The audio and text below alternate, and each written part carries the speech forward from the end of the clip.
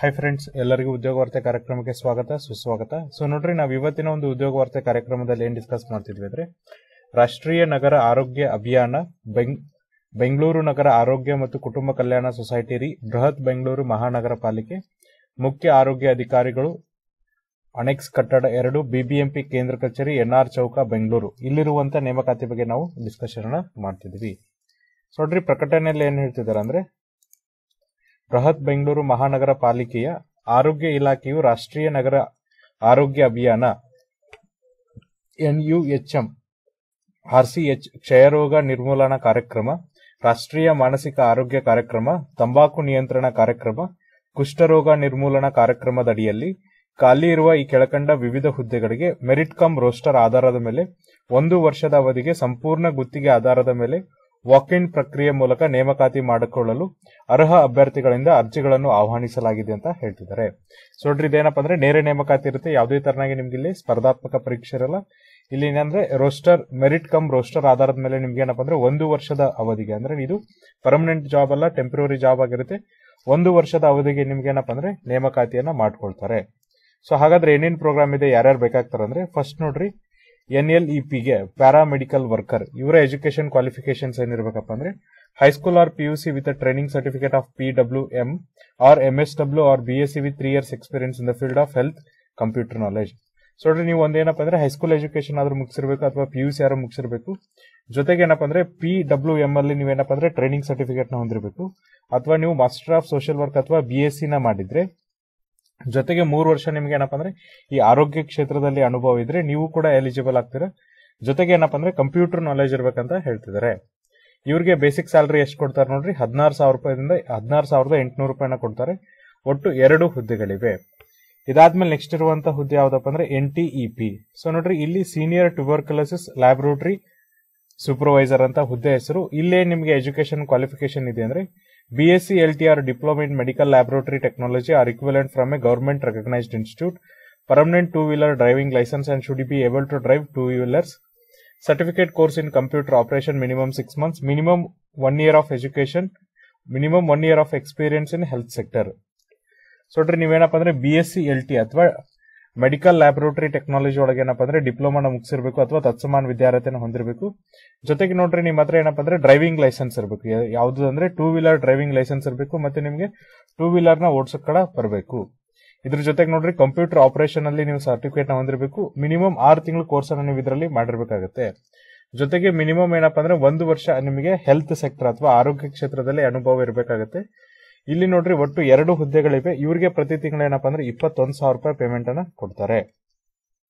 ಇದಾದ್ಮೇಲೆ ನೆಕ್ಸ್ಟ್ ಇರುವಂತ ಹುದ್ದೆ ಡಿ ಎಂ ಎಚ್ ಪಿ ಅಂತ ಸೈಕಿಯಾಟ್ರಿಕ್ ನರ್ಸ್ ಇವರಿಗೆ ಎಜುಕೇಶನ್ ಕ್ವಾಲಿಫಿಕೇಶನ್ ಏನಿದೆ ನೋಡ್ರಿ. B S C nursing or equivalent degree from a recognised institute approved by K N C I R general nursing two years work experience in psychiatry or mental health or hospital or institute master degree in psychiatric nursing from recognised institute approved by N C ನೋಡ್ರಿ ನೀವೇನಪ್ಪ ಅಂದ್ರೆ B S C nursing ಮಾಡಿರ್ಬೇಕು ಅಥವಾ ತತ್ಸಮಾನ್ ವಿದ್ಯಾರ್ಥಿನ ಹೊಂದಿರಬೇಕು. ಇದನ್ನ ಯಾರು ಅಪ್ಲೋ approval ಅನ್ನ ಮಾಡಿರ್ಬೇಕಪ್ಪ ಅಂದ್ರೆ ಕೆ ಎನ್ ಸಿ ಆರ್ ಅಥವಾ ಜನರಲ್ ನರ್ಸಿಂಗ್ ಅವರು ಅಪ್ರೂವಲ್ ಅನ್ನ ಮಾಡಿರ್ಬೇಕು. ಜೊತೆಗೆ ನೋಡ್ರಿ, ಎರಡು ವರ್ಷ ನಿಮ್ಗೆ ಏನಪ್ಪ ಅಂದ್ರೆ ಮೆಂಟಲ್ ಹೆಲ್ತ್ ಹಾಸ್ಪಿಟಲ್ ಒಳಗೆ ಅಥವಾ ಇನ್ಸ್ಟಿಟ್ಯೂಟ್ ಒಳಗೆ ಅಥವಾ ಸೈಕಿಯಾಟ್ರಿ ಒಳಗೆ ನಿಮ್ಗೆ ಏನಪ್ಪ ಅಂದ್ರೆ ಅನುಭವ ಇರಬೇಕು. ಜೊತೆಗೆ ನೋಡ್ರಿ, ಯಾರೆಲ್ಲ ಸೈಕಿಯಾಟ್ರಿಕ್ ನರ್ಸಿಂಗ್ ಒಳಗೆ ಏನಪ್ಪ ಅಂದ್ರೆ ಮಾಸ್ಟರ್ ಡಿಗ್ರಿಯನ್ನ ಮಾಡಿರ್ತಾರೆ, ಜೊತೆಗೆ ಎನ್ ಸಿ ಐ ಅಪ್ರೂವಲ್ ಪಡೆದಿರ್ತಾರೆ, ಅವರು ಕೂಡ ಇಲ್ಲಿ ಎಲಿಜಿಬಲ್ ಆಗ್ತಾರೆ. ಸೊ ಇಲ್ಲಿ ಒಟ್ಟು ಒಂದು ಹುದ್ದೆ ಇದೆ. ಇವರಿಗೆ ಪ್ರತಿ ತಿಂಗಳು ಏನಪ್ಪ ಅಂದ್ರೆ ಹದಿನಾಲ್ಕು ಸಾವಿರ ರೂಪಾಯಿ ಪೇಮೆಂಟ್ ಅನ್ನ ಕೊಡ್ತಾರೆ. ಇದಾದ್ಮೇಲೆ ನೋಡ್ರಿ ನೆಕ್ಸ್ಟ್ ಇರೋದು D M H P community nurse ಅಂತ. ಇವರಿಗೆ ಎಜುಕೇಶನ್ ಕ್ವಾಲಿಫಿಕೇಶನ್ ಏನಿದೆ ಅಂದ್ರೆ B S C nursing or equivalent degree from a recognised university or recognised institute approved by K N C R general nursing two years work experience in hospital so B S C nursing ಮಾಡಿರ್ಬೇಕು ಅಥವಾ ತತ್ಸಮಾನ ವಿದ್ಯಾರ್ಥಿನ ಮಾಡಿರ್ಬೇಕು especially ಯಾರ ಕಡೆಯಿಂದಪ್ಪ ಅಂದ್ರೆ K N C I ಅವರು upload ಮಾಡಿರ್ಬೇಕು ಅಥವಾ ಜನರಲ್ ನರ್ಸಿಂಗ್ ಅವರು ಅಪ್ರೂವಲ್ ಅನ್ನ ಮಾಡಿರ್ಬೇಕು. ಜೊತೆಗೆ ಎರಡು ವರ್ಷ ಏನಪ್ಪಾ ಅಂದ್ರೆ ನಿಮಗೆ ಈ ಹಾಸ್ಪಿಟಲ್ ಅಥವಾ ಆಸ್ಪತ್ರೆಯಲ್ಲಿ ಮಾಡಿದ, ಆಸ್ಪತ್ರೆಯಲ್ಲಿ ಸೇವೆ ಸಲ್ಲಿಸಿದ ಅನುಭವ ಇರಬೇಕಂತ ಹೇಳ್ತಿದ್ದಾರೆ. ಸೊ ನೋಡ್ರಿ ಇಲ್ಲಿ ಒಂದು, ಒಟ್ಟು ಒಂದು ಹುದ್ದೆ ಇದೆ. ಇವರಿಗೆ ಪ್ರತಿ ತಿಂಗಳು ಹದಿನಾಲ್ಕು ಸಾವಿರ ರೂಪಾಯಿ ಪೇಮೆಂಟ್ ಅನ್ನ ಕೊಡ್ತಾರೆ. ಇದಾದ್ಮೇಲೆ ನೋಡ್ರಿ ನೆಕ್ಸ್ಟ್ ಇರುವಂತ ಹುದ್ದೆ ಯಾವ್ದಪ್ಪ ಅಂದ್ರೆ ಎನ್ ಯು ಎಚ್ ಎಂ ಅಂತ ಮೆಡಿಕಲ್ ಆಫೀಸರ್ ಇಲ್ಲಿ ಎಜುಕೇಶನ್ ಕ್ವಾಲಿಫಿಕೇಶನ್ ಏನಿದೆ ಅಂದ್ರೆ M B B S degree completed with internship Kannada language is mandatory K M C registration M B B S ಅನ್ನ ಕಂಪ್ಲೀಟ್ ಮಾಡಿರ್ಬೇಕು ವಿತ್ ಇಂಟರ್ನ್ಶಿಪ್ ಅನ್ನ ಮಾಡಿರ್ಬೇಕು. ಜೊತೆಗೆ ನಿಮ್ಗೆ ಏನಪ್ಪಾ ಅಂದ್ರೆ ಕನ್ನಡ ಭಾಷೆ ಬರ್ತಿರ್ಬೇಕು. ಆಮೇಲೆ ಕೆ ಎಂ ಸಿ ರೆಜಿಸ್ಟ್ರೇಷನ್ಸ್ನ ಅಥವಾ ನೋಂದಣಿಯನ್ನ ಮಾಡ್ಕೊಂಡಿರ್ಬೇಕು. ಒಟ್ಟು ಇಪ್ಪತ್ತೊಂಬತ್ತು ಹುದ್ದೆಗಳಿವೆ. ಇಲ್ಲಿ ಪ್ರತಿ ತಿಂಗಳು ನಿಮ್ಗೆ ಏನಪ್ಪಾ ಅಂದ್ರೆ ನಲವತ್ತೇಳು ಸಾವಿರದ ಎರಡ್ನೂರ ಐವತ್ತು ರೂಪಾಯಿ ಸ್ಯಾಲರಿಯನ್ನ ಕೊಡ್ತಾರೆ. ಇದಾದ್ಮೇಲೆ ನೋಡ್ರಿ N U H M community mobiliser ಇವರಿಗೆ ಎಜುಕೇಶನ್ ಕ್ವಾಲಿಫಿಕೇಶನ್ಸ್ ಏನಿದೆಯಪ್ಪ ಅಂದ್ರೆ masters degree in social work or any of the social sciences so ನೋಡ್ರಿ, ನೀವೇನಪ್ಪ ಅಂದ್ರೆ ಸೋಷಿಯಲ್ ವರ್ಕ್ ಒಳಗೆ ಏನಪ್ಪ ಅಂದ್ರೆ ಸ್ನಾತಕೋತ್ತರ ಪದವಿ ಪಡೆದಿರಬೇಕು, ಅಥವಾ ಯಾವ್ದಾದ್ರು ಸೋಷಿಯಲ್ ಸೈನ್ಸ್ ಒಳಗೆ ನೀವು ಸ್ನಾತಕೋತ್ತರ ಪದವಿಯನ್ನ ಪಡೆದಿರ್ಬೇಕಂತ ಹೇಳ್ತಿದ್ದಾರೆ. ಇಲ್ಲಿ ಒಟ್ಟು ನಿಮ್ಗೆ ಏನಪ್ಪ ಅಂದ್ರೆ ಒಂದು ಹುದ್ದೆ ಇದೆ, ನಿಮ್ಗೆ ಪ್ರತಿ ತಿಂಗಳು ಐವತ್ ಸಾವಿರ ರೂಪಾಯಿ ಸ್ಯಾಲರಿಯನ್ನ ಕೊಡ್ತಾರೆ. ಇದಾದ್ಮೇಲೆ ನೋಡ್ರಿ N U H M zonal accounts manager ಇವರಿಗೆ ಎಜುಕೇಶನ್ ಕ್ವಾಲಿಫಿಕೇಶನ್ ಏನಪ್ಪ ಅಂದ್ರೆ when M com with Tally certificate ಅಂದ್ರೆ ಎಂ ಕಾಮ್ ಮಾಡಿರ್ಬೇಕು, ಜೊತೆಗೆ ಟ್ಯಾಲಿ ಸರ್ಟಿಫಿಕೇಟ್ನ ಹೊಂದಿರಬೇಕು. ಒಟ್ಟು ಎರಡು ಹುದ್ದೆಗಳಿದೆ, ನಿಮಗೆ ಪ್ರತಿ ತಿಂಗಳು ಹದಿನೇಳು ಸಾವಿರ ರೂಪಾಯಿ ಪೇಮೆಂಟ್ ಅನ್ನ ಕೊಡ್ತಾರೆ. ಇದಾದ್ಮೇಲೆ ನೋಡ್ರಿ N U H M dentist B D S with minimum three years experience or M D S ನೋಡ್ರಿ ಬಿ ಡಿ ಎಸ್ ಮಾಡಿರ್ಬೇಕು, ಜೊತೆಗೆ ಮೂರು ವರ್ಷದ ಕೆಲಸದ ಅನುಭವ ಇರಬೇಕು ಅಥವಾ ಎಂ ಡಿ ಎಸ್ ಅನ್ನಾದ್ರೂ ಮಾಡಿರ್ಬೇಕಂತ ಹೇಳ್ತಿದ್ದಾರೆ. ಇಲ್ಲಿ ಒಟ್ಟು ನೋಡ್ರಿ, ನಾಲ್ಕು ಹುದ್ದೆಗಳಿವೆ. ಇವರಿಗೆ ಪ್ರತಿ ತಿಂಗಳು ಅರವತ್ಮೂರು ಸಾವಿರದ ನಾಲ್ಕುನೂರು ರೂಪಾಯಿ ಸ್ಯಾಲರಿಯನ್ನು ಕೊಡ್ತಾರೆ. ನೆಕ್ಸ್ಟ್ ನೋಡ್ರಿ, N U H M Asha mentor ಇವ್ರು ಏನಪ್ಪ ಅಂದ್ರೆ G N M B S C nursing dip nursing with K N C registrations and two or three years experience so ನೋಡ್ರಿ G M G N M ಆದ್ರೂ ಮಾಡಿರ್ಬೇಕು, ಅಥವಾ B S C nursing ಆದ್ರೂ ಮಾಡಿರ್ಬೇಕು, ಅಥವಾ ಡಿಪ್ ನರ್ಸಿಂಗ್ ಅನ್ನು ಮಾಡಿರ್ಬೇಕು. ಇದನ್ನೇನಪ್ಪ ಅಂದ್ರೆ ಕೆ ಎನ್ ಸಿ ರಿಜಿಸ್ಟ್ರೇಷನ್ಸ್ನ ಹೊಂದಿರಬೇಕು. ಜೊತೆಗೆ ಎರಡು ಅಥವಾ ಮೂರು ವರ್ಷದ ಕೆಲಸದ ಅನುಭವ ಇರಬೇಕು. ಒಟ್ಟು ಮೂರು ಹುದ್ದೆಗಳಿವೆ. ನಿಮಗೆ ಪ್ರತಿ ತಿಂಗಳು ಹದಿನೈದು ಸಾವಿರದ ಆರ್ನೂರು ರೂಪಾಯಿ ಪೇಮೆಂಟ್ ಅನ್ನ ಕೊಡ್ತಾರೆ.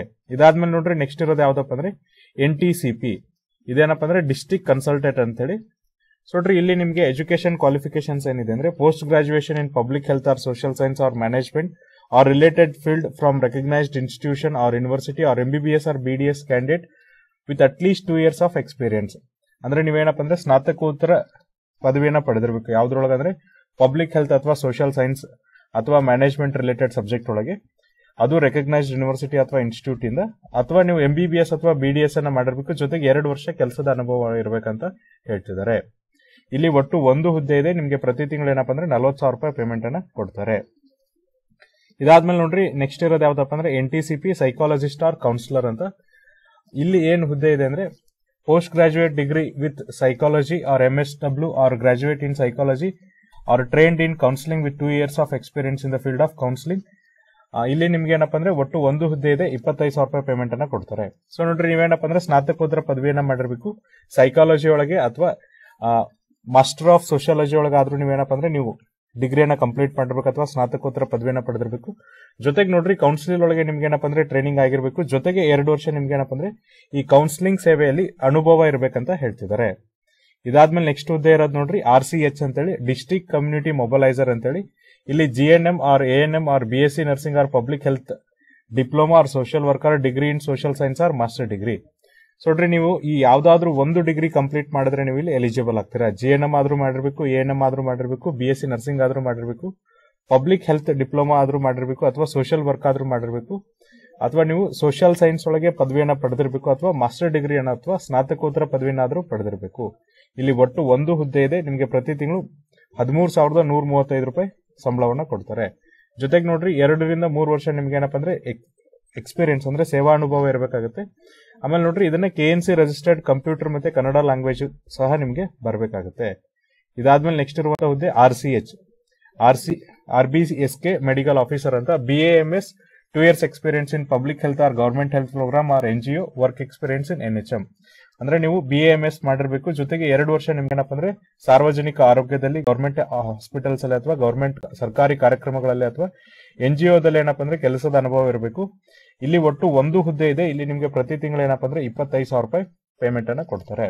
ಸೊ ನೋಡ್ರಿ ವಾಕ್ ಇನ್ ಪ್ರಕ್ರಿಯೆ ನಡೆಯುವ ಸ್ಥಳ ಯಾವ್ದಪ್ಪ ಅಂದ್ರೆ ಡಾಕ್ಟರ್ ರಾಜ್ಕುಮಾರ್ ಗಾಜಿನಮಣಿ ಬಿಬಿಎಂಪಿ ಕೇಂದ್ರ ಕಚೇರಿ ಎನ್ಆರ್ ಚೌಕ, ಬೆಂಗಳೂರು.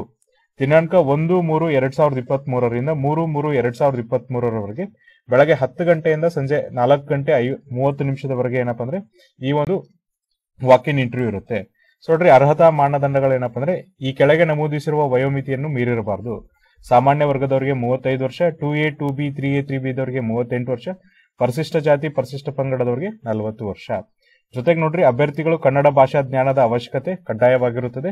ಆಸಕ್ತರು ಬಿಬಿಎಂಪಿ ವೆಬ್ಸೈಟ್ನಲ್ಲಿರುವ ಅರ್ಜಿ ನಮೂನೆಯನ್ನು ಡೌನ್ಲೋಡ್ ಮಾಡಿಕೊಂಡು ಭರ್ತಿ ಮಾಡಿದ ಅರ್ಜಿಯೊಂದಿಗೆ ಸಂಬಂಧಿಸಿದ ವಿದ್ಯಾರ್ಥಿಯ ಮೂಲ ದಾಖಲೆಗಳು, ಒಂದು ಸ್ವಯಂ ದೃಢೀಕೃತ ಜೆರಾಕ್ಸ್ ಪ್ರತಿ ಹಾಗೂ ಎರಡು ಭಾವಚಿತ್ರಗಳೊಂದಿಗೆ, ಮೇಲೆ ಸೂಚಿಸಿರುವ ಸ್ಥಳ ಮತ್ತು ದಿನಾಂಕದಂದು ವಾಕ್ ಪ್ರಕ್ರಿಯೆಗೆ ಹಾಜರಾಗಲು ಸೂಚಿಸಲಾಗಿದೆ. ಹೆಚ್ಚಿನ ವಿವರಗಳಿಗಾಗಿ C M, M O B, B M, C M, M O, C P M O, B B M P at Gmail dot com ಇದಕ್ಕಾದರೂ contact ಮಾಡ್ರಿ ಅಥವಾ B B M P website ಆದಂತ W W dot B B M P dot G O dot in ಇದಕ್ಕಾದ್ರೂ ನೀವೇನಪ್ಪ ಅಂದ್ರೆ contact ಅನ್ನ ಮಾಡಬಹುದು ಇದು ಏನಪ್ಪ ಅಂದ್ರೆ ಬಿಬಿಎಂಪಿ ಯಲ್ಲಿರುವಂತಹ ನೇರ ನೇಮಕಾತಿಗಳ ಬಗ್ಗೆ ಮಾಹಿತಿ.